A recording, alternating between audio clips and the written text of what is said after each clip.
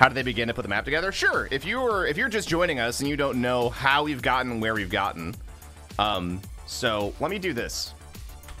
I'll do you one better. Tuesday, we're gonna have a history lesson, chat. So if you if you don't know what we've been doing, I'm gonna catch you up as as easily as I can.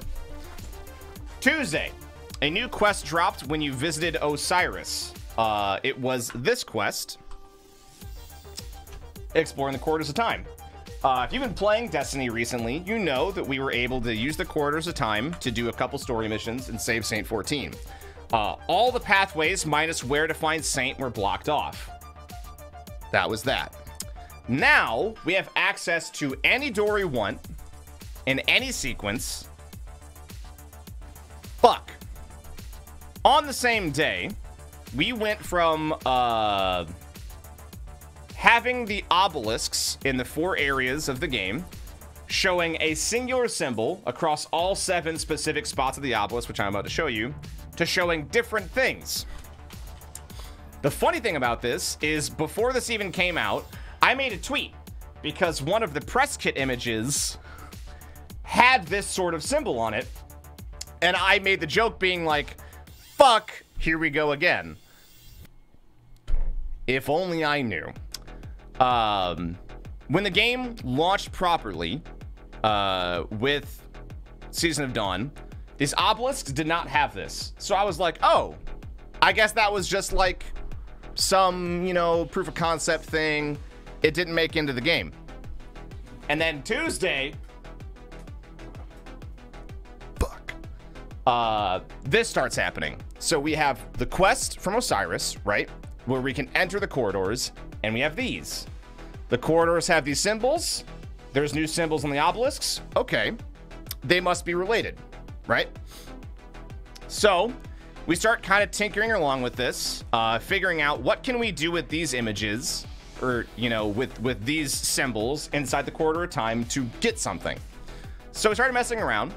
Uh, we noticed that the middle and the top symbol are sunk in.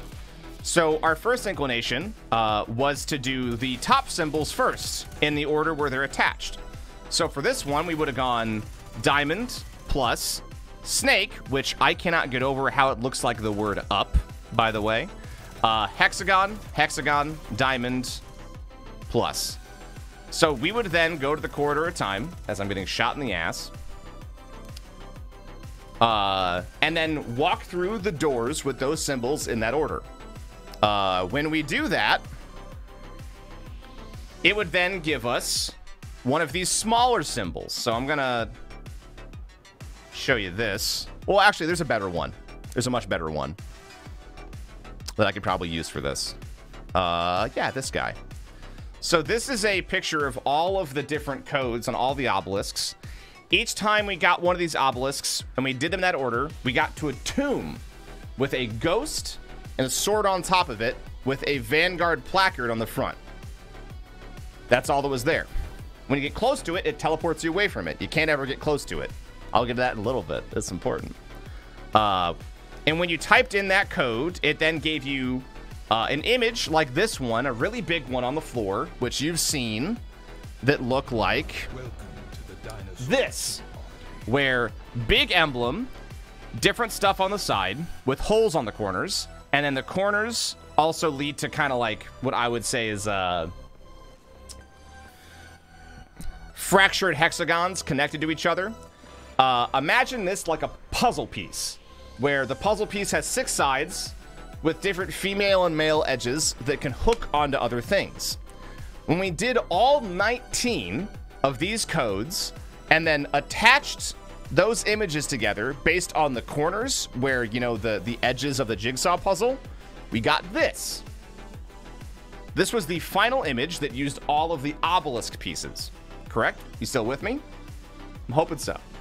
Um, and then we started doing uh, some experimentation alongside the, the the main big picture edges to where what if it was like doorways or rooms themselves that are like you can't go this way or this is the incorrect way because it's a dead end it's got all those corners right so when we do that uh, we are left with, if we remove the ones with dead ends, we are left with this, with just these images.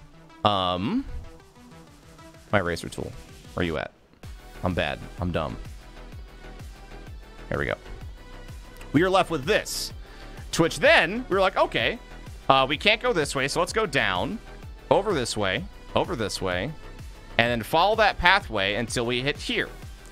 So, if you hit all those symbols in that order, diamond, clover, snake, plus hex, hex, plus hex, diamond, clover, snake, in that order, you then arrive in the tomb again. And when you interact with the floor to give you the symbol, you get an emblem, and you also get a bunch of weird, crazy shit. It starts spitting out images again, and every image is different over and over and over and over and over and over and over and over. To which, then we said, fuck.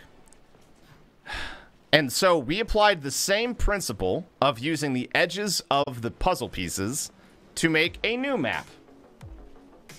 And that's where we are.